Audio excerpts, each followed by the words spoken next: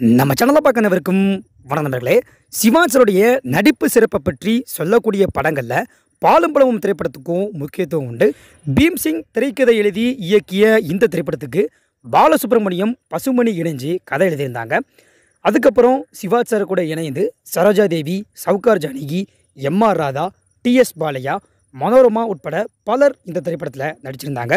இந்த படத்தை சரவணா ஃபிலிம்ஸ் அப்படின்னு சொல்லக்கூடிய ஒரு ப்ரொடக்ஷன் கம்பெனி தயாரிச்சிருந்தாங்க. இந்த படத்துடைய கதைக்களம் என்ன அப்படின்னா புற்றுநோய்க்கு மருந்து கண்டுபிடிக்கக்கூடிய ஆராய்ச்சியில் சிவாஜ் சார் நஸ் நர்ஸ் சரோஜா தேவியை காதலிச்சு திருமணம் செஞ்சு கொள்வார். அப்போ சரோஜா தேவிக்கு டிபி நோய் இருக்குது தெரிய வரும்.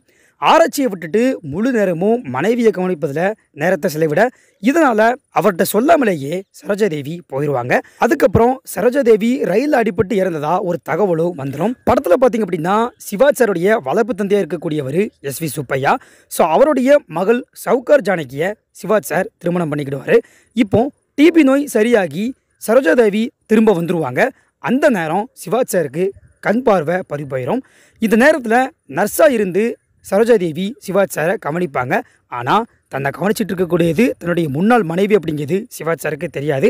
அதுக்கப்புறம் தெரிய வந்துடும் அப்படி தெரிய வந்த உடனேயே என்னென்ன சம்பவங்கள்லாம் படத்தில் நடக்குது அப்படிங்கிறதா அதுக்கடுத்து திரைப்படமாக வந்து இருக்கும்.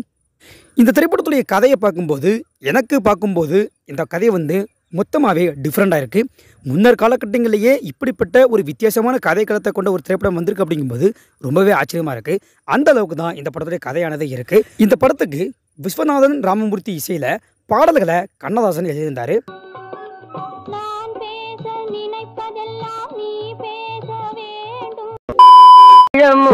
கைகளில் ஏந்தி பவளவாய் என்னை யாரென்று எண்ணி எண்ணி நீ பார்க்கிறாய்.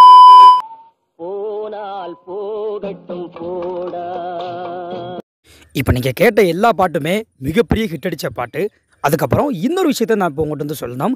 அதாவது இந்த படத்தில் பார்த்தீங்கன்னா டிபி நோய் பாதித்தவரா மெலிந்த தேகத்தோட நடிக்கிறதுக்காக சரோஜதேவி சில நாட்கள் பட்டினியாக இருந்திருக்காங்க. அந்த அளவுக்கு கஷ்டப்பட்டதுனாலோ என்னவோ அந்த தோற்றத்தில் என்னை விட சிறப்பாக நடிச்சிருக்கு அப்படின்னு சொல்லி சிவாஜ் சார் அவரை பாராட்டியிருக்காங்க. பாருங்கள் நடிக்கிறதுக்காக எந்த ஒரு விஷயத்தை அவங்க பண்ணியிருக்காங்க அப்படின்னு சொல்லி. அது மட்டும் இல்லாமல் இந்த படம் தமிழில் பல திரையரங்குகளில் நூறு நாட்களை தாண்டி ஓடிச்சு.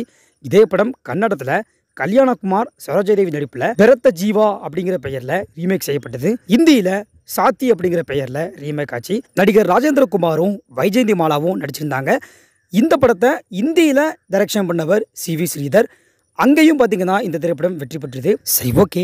இப்போ நீங்கள் எல்லாருமே இந்த திரைப்படத்தை போய் பாருங்கள் இப்போ இப்போ நான் சொன்ன இந்த விஷயங்களை பற்றி நீங்கள் என்ன நினைக்கிறீங்க அப்படிங்கிறத கமெண்ட் செக்ஷனில் கமெண்ட் பண்ணுங்கள் அது மட்டும் இல்லாமல் இந்த நிறைய பேருக்கு ஷேர் பண்ணுங்கள் லைக் பண்ணுங்கள் அடுத்த வீடியோவில் சந்திக்கின்றேன். நன்றி.